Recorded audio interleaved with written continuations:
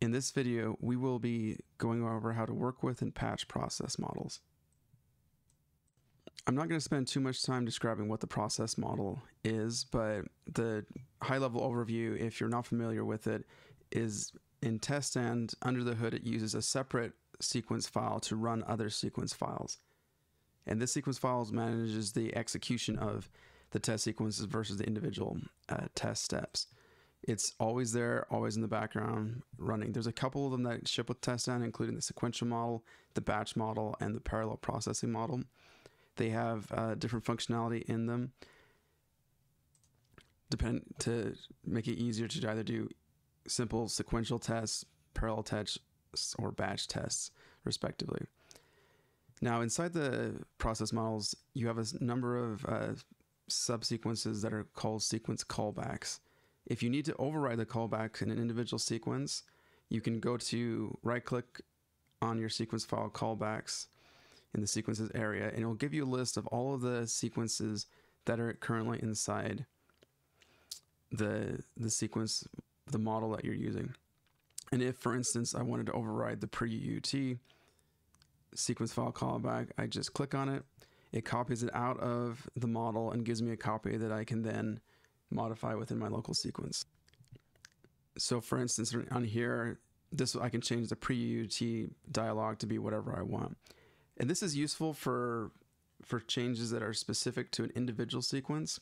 However, if you have if you're building a framework and you want to modify a this a model file so that you don't have to do this in every single sequence, you you roll it into the model file instead. So you maintain one model file instead of a whole bunch of individual callbacks in each individual sequence. That's that's the better way to do it. The problem is is that these these model files can get pretty complicated. If you go and, and click on it, then you'll notice that you've got a few things. You've got entry points, you've got configuration options, and then you've got a bunch of model callbacks that are tagged as model uh, callbacks basically. And one of the problems I see with these is, is if you get somebody that doesn't know what they're doing, or someone who thinks that they know what they're doing, or even somebody that knows what they're doing but isn't very good at documentation, then what typically happens is they'll copy one of these files, you'll make the changes to it. It's not real obvious what the changes are because of how, of how much is in this file. Some of these uh, callbacks can get pretty most of them are empty and are placeholders, but some of them can get pretty uh, pretty long. I should I should show one of those. One sec. I don't have a very good example I can share of, of one of these sequence files or model files getting out of hand, but trust me that you can put quite a bit of, of, of programming in them. So one of the the ways you get around this is that if you want to track for sure everything that's changed inside one of these sequence files is use the the concept of patching. Patching is something I picked up when I worked a lot with consumer electronics and especially products that use open source uh, project libraries. One of the problems with some of these open source project libraries is that when you integrate it into the larger product, you may need to change one or two things, sometimes more, to make the library work inside your uh, particular environment. Similar with TestStand, the process model may work just fine, but there may be a couple things that you need to do, and especially as if you're if you're overriding the pre-UUT dialog and the instrument framework, then you're going to have to change the default process models to do that that correctly. And so what you do with these open source libraries is that because the changes are specific to your product, there nobody else wants them. The maintainers will probably not pull in your changes even if you did submit them. And so typically what happens is you come up with this patch process where you keep track of all the changes that you want to do and then you run a utility that takes all of your changes to the code and then patches and replaces lines of code inside the other the other file. The advantage of doing this is that means that you know exactly what needs to change in that open source library and when the open source library updates or has code changes to it, you don't have to start from scratch to make all your changes. You can just figure out what the deltas are and go from there. In TestStand, I've written a little utility to help you do this. And let's go look at it. And this is a pretty simple implementation. You can go nuts on automating this. but a couple words of warning. The default process models that you're going to be working with are in program files x86 in the TestStand components models TestStand models directory. Never modify those files unless you want to risk a reinstall. So what you want to do is you want to copy it out before you modify it. And I'll go show you that. I've also set up my little tool. There's a, there is two inputs and the tool itself. So basically, I'm going to keep uh, one file is the sequence, the sequential model that I'm working with.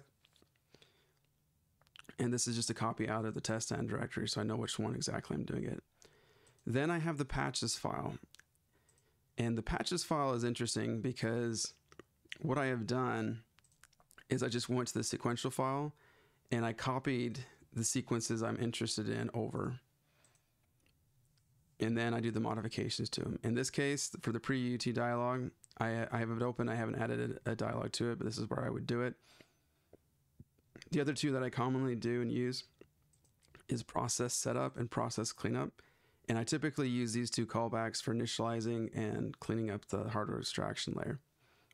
Process uh, setup and cleanup are typically used and they're launched when you press the go button and process setup happens before you get to the pre-UUT dialog and process cleanup happens after you you close the pre-UUT dialog to say you're, you've stopped testing.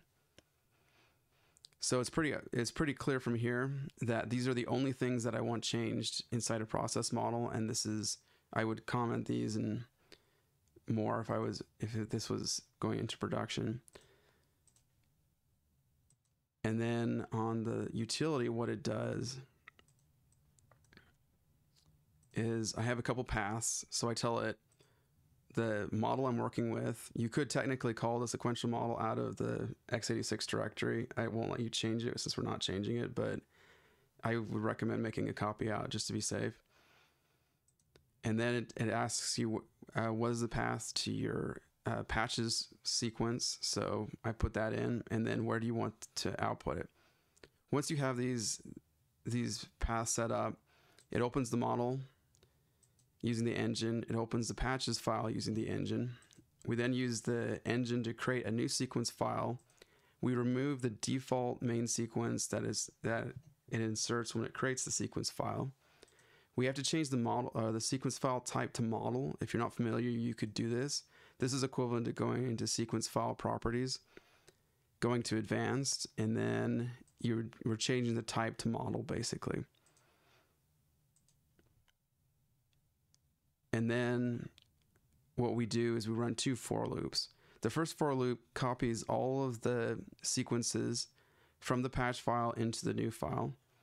The second one opens up the the process model file and it checks and for each sequence in the process model file if that if that file name is already inside the the new file it doesn't copy it over. If it's missing it copies it over.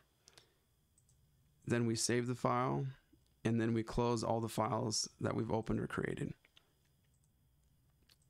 And I'm going to delete this real quick and run it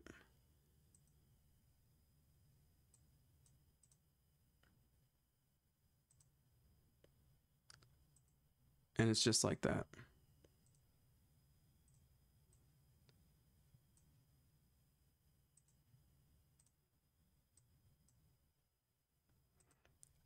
And then if we go over here, you'll notice it's actually reordered it. So the all of our changes are now at the top of the file.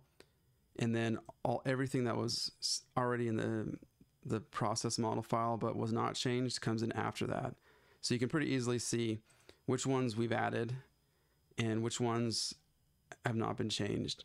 And when we go for a code review or something, we would pull up the patch file and show these are the one these are the only ones we have changed.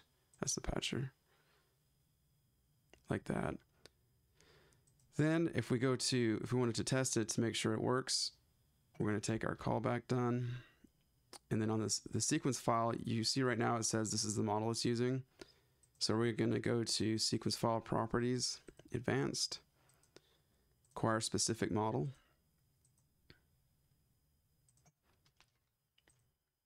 And for testing purposes, I'm just going to use an absolute path. For production purposes, never do that. You should be using search directories. Okay. And then we press go. You'll see at the bottom it says I'm now using the custom ATE sequential model. Before we see the, the pre-UUT dialog, I put a dialog in there and it says it's initializing instruments. We have our pre-UUT dialog, which I, I'm going to override later. And if I press stop, it does the shutting down instruments. And that is how you patch sequence files or sequence process models.